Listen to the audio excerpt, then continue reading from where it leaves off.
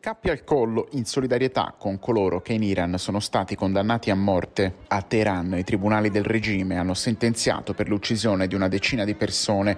La loro colpa, recitano le carte, è di cospirare contro l'ordine pubblico e la sicurezza nazionale. In cento città del mondo, fra cui Firenze, donne e uomini iraniani sono scesi ancora una volta in piazza per manifestare e difendere i diritti umani che sono negati nel loro paese che in questa guerra di indipendenza sta vivendo ancora di più la repressione.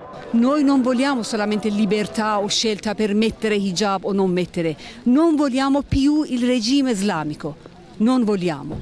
E questo lo diciamo a alta voce.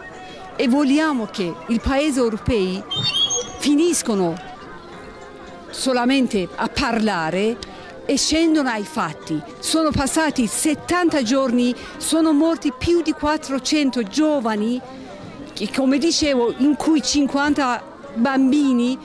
L'ambasciatore iraniano non è stata nemmeno eh, convocata per una volta per chiedere almeno una semplice domanda, cosa sta succedendo in Iran? Tutto è cominciato con l'uccisione di Mahsa Amini perché non indossava il velo come avrebbe dovuto. Quella è stata la scintilla per un popolo che vuole la libertà a Firenze il corteo è iniziato in piazza Santa Maria Novella ed è terminato in Santissima Annunziata. Hanno sfilato bandiere dell'Iran e cartelli in memoria di chi è stato ucciso, come è successo a tanti minori, e urla di rabbia e dolore che loro sono convinti arriveranno fino a Teheran.